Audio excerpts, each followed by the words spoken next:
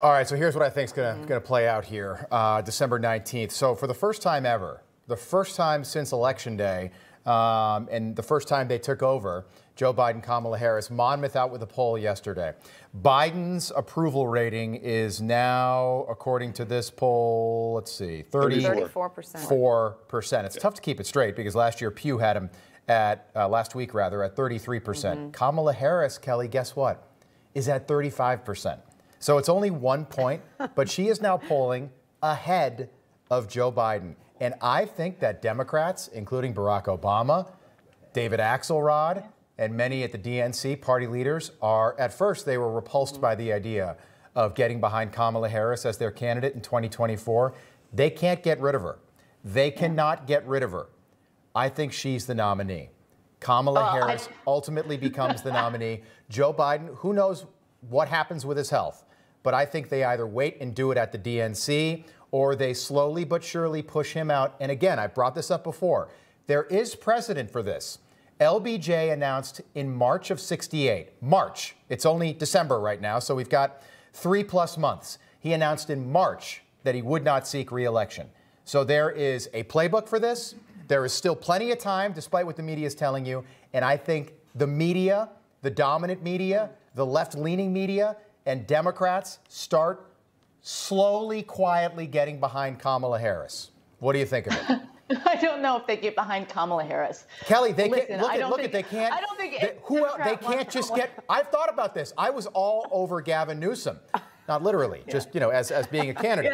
yeah. um, oh. Saw what happened in the Senate, right? Um, no, I'm saying that Kamala Harris they can't get rid of. They can't just get rid of her. So what do they do with her? The devil you know versus the devil you don't she'll be the nominee.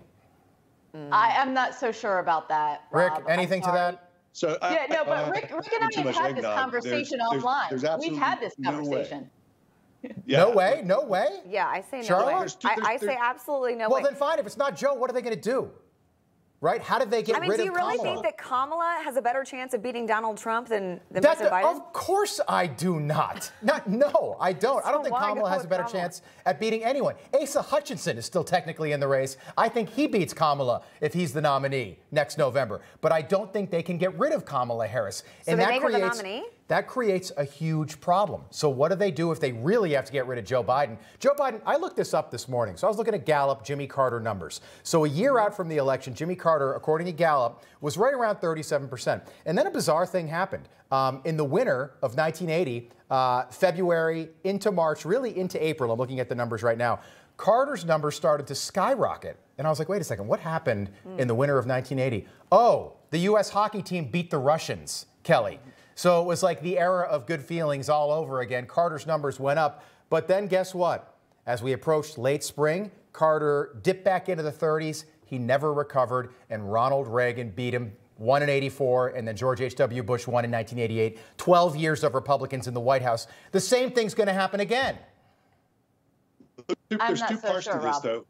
If you if you look at this, between now and the Democratic convention, they can absolutely get rid of Kamala. Anybody can be the candidate. You just have to do the filing. You get the primaries, get the delegates. One convention happens that Biden is still there and he's the nominee if if he were to die the next day, not saying he is, but if something were to happen the next day, oh, right. Kamala would automatically become the nominee. That's right. the only way that's locked in. Democrats yeah. see that she's not going to win either. So between this is why it's critical that Democrats figure this out within the next 60 days yeah. if Biden's going to run or not. And if he's not, they need to find a replacement quickly. Even though Kamala's leading the polls, I think at the heart of it, the Democrats do not believe she can win, and that's yeah. going to be like, a problem. Like like what? You're looking at the wrong polls, Sharla? like what? The White House Christmas party straw poll? Oh yeah, they didn't have a Christmas party. Like what polls is he talking about? And this winter there's no right. Team USA to save Biden. But there are the Olympics this summer. In the summer. Summer yes. Olympics. Maybe. Maybe. Although it's not U.S. versus the Russians, right?